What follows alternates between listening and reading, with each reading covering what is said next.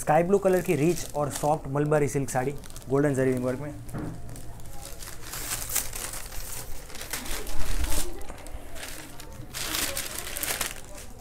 ये है golden zari rich pallu, beautiful tassel work के साथ। Back side. पूरी बॉडी पे गोल्डन जरी वोन डिज़ाइन रहेगी। मटेरियल सॉफ्ट है कंफर्टेबल है। दोनों साइड में गोल्डन जरी बॉर्डर है। ये है बैक साइड।